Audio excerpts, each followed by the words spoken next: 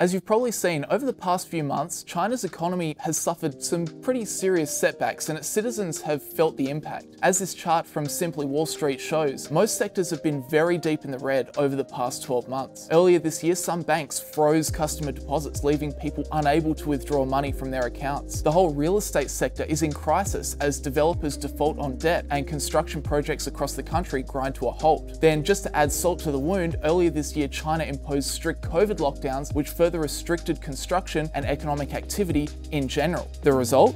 Well, the economy choked and Chinese citizens really lost out. This sparked a wave of protests across the country from people remonstrating outside of banks to others boycotting mortgage payments and thousands shouting off balconies in protest as they were confined to their apartments. And despite making big news headlines a little bit earlier in the year, a lot of this stuff is still occurring even now. Just recently, videos circulated of unfinished apartment towers being demolished as developers ran out of money. And despite the worst of the Shanghai COVID lockdowns being over, there are still many cities in China that are facing strict ongoing lockdowns. It's fair to say that over the past few months, things haven't looked great for China, and the decisions being made by the CCP are heavily impacting their citizens and the rest of the world.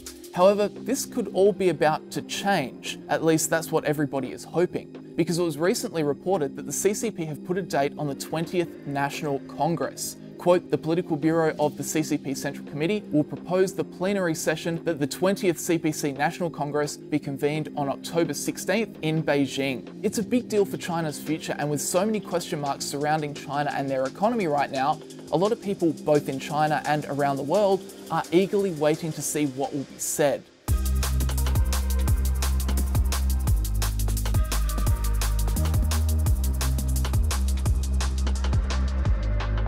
For those that don't know, the National Congress of the China Communist Party is a big deal. It's held every five years and is where the CCP's top level leadership changes happen, and it's also the formal event for changes to the party's constitution. But what also happens at this meeting is the party leader will outline economic policies and intentions for the next five years. An official release said, quote, the Congress will thoroughly examine the current international and domestic situation, take into account what the cause of the party and country requires for its development on the new journey in the new era, as well as people's new aspirations to formulate action plans and fundamental policies. The most pressing issue that is expected to be reviewed, which is definitely number one for China's citizens, is the roadmap for the easing of China's very extensive COVID lockdowns. As we've seen throughout the media this year, China has enacted by far the strictest COVID lockdowns of any nation, but many are anticipating that Xi Jinping will discuss China's return to normal plan at this Congress. If that were to happen, it would obviously be a huge benefit for all of China's citizens, but beyond that, it would also be huge for China's economy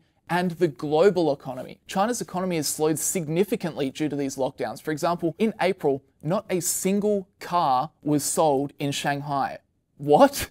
Factories were shut down. Tesla's giant Shanghai Gigafactory was closed for nearly a month. Back in March of this year, quote, an estimated 345 million people across 46 cities were in full or partial lockdowns, a population accounting for 40% of GDP. Now, while it's not quite that bad anymore, for example, 96.3% of industrial businesses in Shanghai have now resumed work with a production rate of over 70%, there are still lockdowns occurring across China, which continue to disrupt the normal operation of their economy. And ultimately, if China is in lockdown, that's bad for us too. We have to remember that China is the production powerhouse of the world, accounting for approximately 30% of the world's total manufacturing. They are the world's biggest exporter by a long way, and they account for 12% of all global trade. So, whether you like it or not, the US and Europe need China to return back to normal to reduce the supply constraints and help their economies get back to normal. As you may have seen, China's COVID lockdowns have caused massive backlogs at all their major ports. Now, while that sucks for China's economy, what it's also caused is a massive reduction in the supply of goods to Europe and to the US. Have a look at this. Delivery delays for ocean freight have more than doubled since the start of the pandemic. Back in 2019, it took about 45 days for goods leaving a factory in China to get to a US warehouse. Now in 2022, the same journey is taking 111 days. And ultimately, with the rest of the world opening up across the past year and demand resuming to normal, if not increased levels,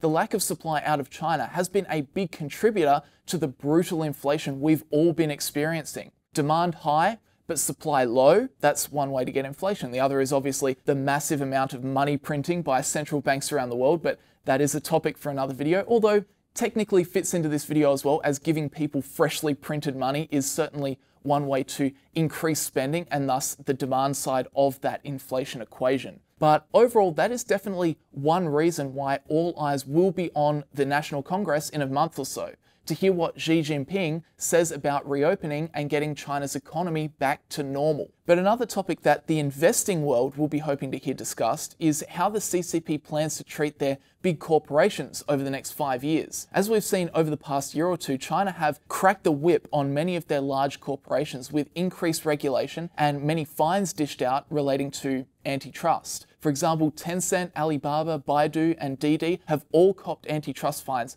over just the past couple of years. Tencent and Alibaba have both been forced to donate approximately 15.5 billion to Xi Jinping's Common Prosperity Fund. Recently, China's market regulator blocked Tencent's planned merger with Huya and Douyu, and of course, who can forget the blocked IPO of Ant Financial? It's no secret that China has been very focused on increased regulation of their tech sector, and naturally, it's really spooked a lot of investors. Now, there are also other factors at play here, granted, you know, delisting risks, etc., but I still wanted to show you just what's happened to some of these stocks over the past few years. Alibaba is down around 70% from its high in 2020. Tencent is down 60% from its high in 2021. Pinduoduo is down 66% from its high. JD down 44%. Baidu down 60%. They're actually so beaten down right now that many of them are now significantly undervalued from a classic discounted cash flow analysis. So much so that a lot of big name value investors have been buying into some of these Chinese tech stocks. And if you are interested in actually doing some analysis on these businesses and exploring how undervalued some of them actually are based on a discounted cash flow analysis, I've actually just put out a curated list of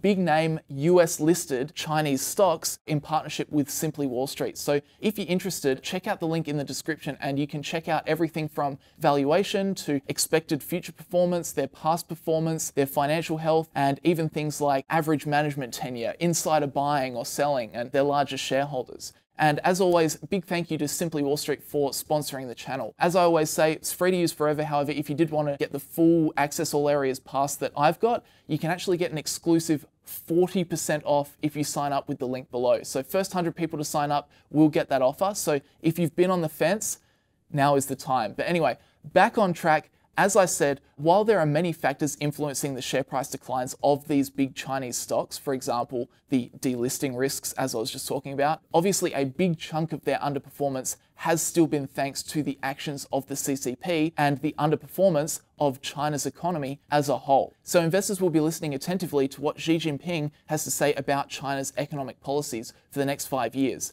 as that will essentially mold the landscape that these businesses will have to work in over the medium term. I wouldn't expect these policies to be too specific. Obviously, the details will then be passed down to the relevant policymakers to actually implement the specifics, but hopefully the meeting provides a good update on the CCP's economic intentions over the next five years so we as investors can have further clarity. And speaking of relevant policymakers, as this is an event to reorganise leadership more than anything, there is set to be quite a few changes and retirements this time round, which will bring in some new leadership. However, one person that is set to remain is Xi Jinping himself. It's expected he will attract even more support within the party at this Congress. CNBC notes Xi will likely increase his share of political associates at the top two levels of the Chinese leadership, according to Eurasia Group, which predicted the majority of his political associates associates holding seats on the Politburo will increase to 80% from 60% and rise to 57% from 43% in the Politburo's standing committee.